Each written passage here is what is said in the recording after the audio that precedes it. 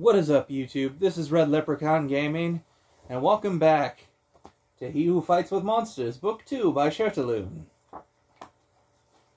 We're on chapter 67, and we're on the couch this time. You have friends to help you. In the ritual room, the group watched as Sophie continued through her awakening rituals. She had three unawakened abilities left one from the Wind Essence and two from the Balance Essence, along with three legendary awakening stones to use on them. She decided to save the Reaper Stone for last, leaving the awakening stone of the Celestials that, Continence, that Constance had suggested and the stone of Karma that Clive had picked out. She started with the stone of the Celestials. You have awakened the Wind Essence ability, Child of the Celestial Wind. You have awakened 5 of 5 Wind Essence abilities. You have awakened all Wind Essence abilities. Linked attribute Power will advance in conjunction with lowest ranked Wind Essence ability. Ability Child of the Celestial Wind. Wind Essence. Special ability Dimension Holy. Cost None. Cooldown None. Current rank Iron 0 0%. Effect Iron. Your cell your Celestine racial powers have an increased effect. You gain damage reduction to disruptive force damage. What are the Celestine racial powers? Neil asked. I know you have utility power aptitude and can use ongoing abilities for less mana. That one's your ability that evolved, right? Yeah, Sophie said. We also recover mana more quickly and we're faster and have more astral and holy affinities. What does holy do other than improve holy abilities? Neil asked. It increases the effect of healing magic and holy boons used on me. Oh, that's useful, Neil said. Those are abilities you want to have increased. They move to the Awakening Stone of Karma. You have awakened the Balance Essence ability, Karmic Warrior. You have awakened four of five Balance Essence abilities. Ability, Karmic Warrior. Balance. Special ability, Holy. Cost, none. Cooldown, none. Current rank, Iron 0, 0%. Effect Iron. Gain an instance of Agent of Karma when subjected to damage or any harmful effect, even if the damage and or effect was wholly negated. Agent of Karma. Boon, Holy, Stacking. The power and spirit attributes are temporarily increased by a small amount. Additional instances have a cumulative effect. So basically, Jason said, whenever you take damage, even when you negate that damage with your with your cheesy powers, you get stronger, tougher, and your magical abilities get stronger and more powerful. The spirit attribute actually has several functions, Clive said. Obviously, affecting the potency of essence abilities is the important one, but don't overlook its impact on your perception. As your spirit ability continues to move past bronze rank, your senses will go beyond what they are now, Colors, sounds, and smells to which we were oblivious will suddenly be made plain to us. So you can move fast and it amounts to stopping time, becoming immune to damage, then heap up all the damage you should have taken on the other guy, Jason said. Now you have another overpowered ability. Humphrey got bloody immortality, and I got stretchy arms? Not even arms, one stretchy arm. You can switch up which arm it is, though, Belinda said. There's that. The group laughed at the flat look Jason gave her. We might be a little more sympathetic, Neil said, if your powers hadn't killed a carnivorous plant the size of a small city. It wasn't just me, Jason said. There were 25 other people involved in that. Sarno, we would have been all left sitting around with nothing to do if you hadn't been there, Sophie said. Stop whining. I guess that's fair, Jason conceded. Sophie, that Sophie, that new ability makes you rather like a defensive version of Jason, Humphrey pointed out. You don't have any explosive attack powers, but now the longer the fight goes on, the more dangerous you become. Increasing your power attribute will obviously increase your physical strength, and the increase in spirit will affect the additional damage your powers add to even your normal attacks. That will eventually add up until every one of your strikes will have the kind of strength the rest of us only have with a special attack and we all know how quickly you can attack. We still have one more ability to awaken, Clive reminded them as he finished setting up for the final ritual. Did you hear what people were getting from the Reaper Stones while you were in the market? Jason asked. Clive veered off quite early to go ask around while the rest of us were selling the loot, Neil said. Did you actually get people to tell you, Clive? Kind of, Clive said. I found the Magic Society contingent and organized cheap awakening rituals for anyone who let us record their abilities. I saw that, Neil said. You organized that? I'm still a Magic Society official, Clive said, even if Lucian Lamprey did effectively strip me of all responsibility. I'd like to kick that guy's insides out once today. I'd like to kick that guy's insides out once day. What? That's the exact way it's worded. I'd like to kick that guy's insides out once day. I'd like to kick that guy's insides out one day, Sophie said. Was this because of me? Jason asked unhappily. He doesn't like that I work with you, Clive said. It worked out, though, since it left me freer for adventuring and research. All his punishment actually did was free me from a bunch of administration duties. Jason frowned, knowing that it had not been the, the windfall Clive was making it out. I'm sorry, he said. I told you it's fine, Clive said. Getting back on topic, I did manage to find out about a lot of powers coming from the Reaper Stones. The most common, from what I could gather, are aggressive utility powers. Clive said as he continued to work. There's quite a lot of conjuration powers, mostly weapons, but also stranger things like Jason's arm conjuration. They also seem they all seem to incorporate offensive aspects, although like the affliction Jason's shadow arm delivers. I'd like something impactful that I can open up a fight with, Sophie said. Something to put the enemy on the back foot. I'm not sure that's on the table, Clive said. From the people I talked to, the Reaper Stones tend to give out powers more in Jason's wheelhouse, slow inevitable death. Speculation turned into anticipation as Clive finished the ritual and carried it out. You have awakened the Balance Essence ability, Deny the Reaper. You have awakened 5 of 5 Balance Essence abilities. You have awakened all Balance Essence abilities. Linked attribute Recovery will advance in conjunction with the lowest ranked Balance Essence ability. Ability, Deny the Reaper. Balance, Special Attack, Counter Execute, Healing, Cost, Moderate Mana, Cooldown, 30 seconds. Current rank, Iron 0, 0%. Effect, Iron. Target, in, target enemy suffers a small amount of transcendent damage, and you are healed for a small amount. As a counter execute effect, the damage and healing scale exponentially with your own level of injury. Counter execute, Jason said. That's a new one to me. You generally see it in defensive power sets, Clive said. They are generally more powerful than other abilities, but only if you use them when things are going badly. Usually they have some combination of damage reduction, healing, retribution damage, or health drain. My immortality power is something of a false counter execute, Humphrey said. It's unlikely to scale well as Sophie's new power does, but it can also scale off low stamina and mana and will be more, more useful without having to be beaten down first. I thought that ability scaled, scaled like this one, Neil said.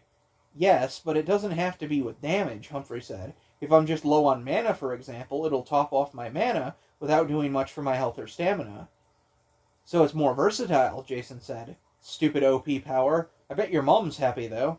Actually, she was ecstatic, Humphrey said. I've never seen her like that. Of course she was, Jason said. A mother just found out her child was immortal. I'm not actually immortal. It's still a powerful survival skill, Clive said. This one of Sophie's is not to be underestimated, however. The chance to bring a fight badly back to even ground fits the classic balance essence mode. Balance is quite popular because it has abilities like this that can pull you through rough situations. I wanted an attack for the start of a fight, not the end, Sophie said. Look at it this way, Humphrey said. Would you prefer a big splashy entrance that may or may not do you any good, or something you can rely on when things go wrong? Sophie considered Humphrey's words, nodding to herself. I guess you're right, she said. Big attacks are kind of your area anyways. Plus, transcendent damage, Clive said. That's as reliable as it gets. Plus, incredibly rare at Iron Rank. You only see it on, con- on conditional powers, like executes, or when the damage is negligible, both of which are demonstrated by Jason's abilities. That leaves you, Sophie said, turning to Belinda. Ready to become an Essence user? Are you kidding? Belinda asked. I can't wait for Jason to complain about how many great powers I have. What? Jason asked. You can be a bit of a whiner, Neil told him. I'm not a whiner, Jason said. I'm just open with my feelings. I'm a delicate flower. The kind of flower that's hard to eradicate even when you're trying to get rid of it, Neil said. Is there a word for that? Are you calling me a weed? Jason asked. That's very rude. You said I was fat. You're objectively hefty for an elf. I'm well built. Like a fancy cake, Jason said. But I imagine you know all about cake, given how many you must have eaten to get like that. I'm not the only elf that looks like this, you know. You mean Lucian Lamprey? He's not a great role model, even putting aside the whole evil sleaze bag thing. The guy looks like someone sucked the air out of a bag of nuts. As Jason and Neil continued to bicker, Clive went to work setting up Belinda's first essence ritual. It was more elaborate and involved than the ritual of an awakening stone, but otherwise quite similar. Soon Belinda was standing in the middle of a magic diagram, a magic essence held nervously in her hands. There's nothing to worry about, Sophie said. You saw me go through this. Trust me, Clive said. I've done this dozens of times, probably hundreds. What if I get a crap power? Belinda said. My mother says there's no such thing as a bad power, Humphrey said. Just a bad essence user who doesn't know what to do with it. Everyone here knows how smart and resourceful you are, Jason told her. If you get a basic attack ability, that's a reliable power you can count on when things are too hectic to set up a clever plan. If you get something more esoteric, you can be innovative with it and really show what you're capable of. Either way, I know you'll be able to make the most of it. Belinda nodded. Thanks, she told them. If all of your p- powers are crap, though, Jason added casually, we're not letting you on the team. He yelped as, so- as Sophie thumped him on the arm. What was that for? he asked. What was that for? What was that for? Sophie echoed incredulously. If I had a suppression collar, I'd put it on you and throw you off the highest tower of this whole damn palace. I'm kind of in the middle of something here, Belinda interjected. Sorry, Jason said. Clive conducted the ritual, the essence in Belinda's hands dissolving into a nebula like cloud that floated around her before drifting gently into her body. You have absorbed magic essence. You have absorbed one of four essences. Progress to Iron Rank 25%, one of four essences. Magic Essence has bonded to your Spirit attribute, changing your Spirit from normal to Iron Zero. Master all Magic Essence abilities to increase your Spirit attribute. You have awakened the Magic Essence ability, Bag of Tricks. You have awakened one of five Magic Essence abilities. Ability, Bag of Tricks, Magic. Special ability, Dimension. Cost none, cooldown none. Current rank Iron 0, 0%. Effect Iron. You have a personal dimensional storage space. You may equip any item from your storage space directly onto your person, or unequip anything on your person directly to your storage space.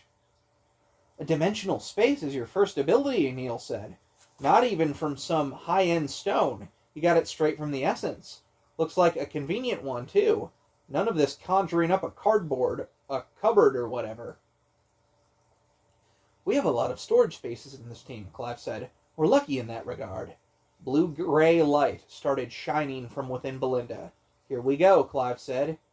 Human racial ability, Essence Gift, has evolved into Adventurer's Tools. Ability, Adventurer's Tools. Transfigured from Human ability, Essence Gift. Active ability, Conjuration. Conjure basic, non magical objects. Sophie and Belinda had already decided to just do Belinda's essences before taking their shopping trip to sell off their loot in a market not flooded with essences and awakening stones. They already had some stones picked out, but were also waiting to see what her first powers produce. Normally, they would have only awakened around half of her powers right away, as had been the case with the rest of the team. Belinda was already behind the curve compared to them, though, so instead they decided to just do all of their stones after coming back from their shopping trip. In the meantime, they moved on to the next essence. You have absorbed Trap Essence. You have absorbed two of four essences. Progress to Iron Rank 50%. Two of four essences. Trap Essence has bonded to your Power attribute, changing your power from normal to Iron Zero. Master all Trap Essence abilities to increase your Power attribute. You have awakened the Trap Essence ability, Bait and Switch. You have awakened one of five Trap Essence abilities. Ability, Bait and Switch, Trap. Special ability, Dimension, Illusion. Cost, High Mana. Cooldown, 1 minute. Current rank, Iron 0, 0%. Effect, Iron. Teleport self or nearby ally to a nearby location. The subject is rendered invisible for a brief period, having leaving behind a lifelike illusion. The illusion has no substance or aura. An escape power, Clive said. The mana cost and use interval for a power like that are quite large because you can use it on other people. That's a valuable power. Belinda's next racial gift evolution soon triggered. Human racial ability, Essence Gift, has evolved into the price of power. Ability, the price of power, transfigured from human ability, Essence Gift. Active ability, spell, curse. The subject of this ability suffers disruptive force damage when expanding mana, proportional to the amount of mana consumed. That's interesting, Clive said. Active racial gifts are incredibly rare, especially ones you can use on other people. How is that a trap power? Sophie asked. It turns a person's own mana into a trap, Neil said. It's a nasty ability. I'm glad, Belinda said. The first one wasn't great. Useful, don't get me wrong, but a bit underwhelming. Underwhelming, Jason said. That ability to conjure tools is the most pure-blood adventuring power I've ever seen. I could empty half my storage space if I had that power. You really could, Humphrey said. I will admit, I've been carrying around some useful odds and ends as well, Clive said. Because I had ropes with me, Neil and I have multiple growth items now. Still two essences to go, Clive said. I'll set up the next ritual. Actually, could we take a break? Belinda asked. This is kind of intense, and I could use a rest. Good idea, Jason said. We can all go up to my suite and I'll put on some lunch. As everyone shuffled out of the ritual room, Clive asked Sophie and Belinda to stay behind for a moment to discuss an issue with their new abilities. Is there a problem with our abilities? Sophie asked after the others were gone. This isn't really about your abilities, Clive said. It's about Jason. What about him? Sophie asked. I don't like the way you're attacking him, Clive said. Seriously? Sophie asked. I hit him ten times harder when we spar. But you weren't sparring. You don't think he could have stopped me? Jason's judgment is compromised when it comes to you, Clive said. He's wary of his power over you and the men who had power over you in the first place. Because of that, he lets you get away with things he wouldn't tolerate from anyone. Don't forget, he just went through something incredibly affecting. He seemed normal to me, Belinda said. Exactly, Sophie agreed. You saw him, he's fine. Clive gave them a sad smile. You never met Farah. But when Jason and I started adventuring together, she asked me to look out for him, to make sure he was actually fine and didn't just seem that way. He's good at hiding when he's overwhelmed. That's crap, Sophie said. He's just one of those guys that takes it all in stride. Nothing really affects people like that. People like that don't exist, Clive said. Jason might not have been through all the things you have, but he's had his own challenges. He's more vulnerable now than he seems. Sophie scowled while Belinda looked at her thoughtfully. Maybe we can tone it back a little, she said. You mean I can, Sophie said. Yes, Soph, Belinda said. I mean you.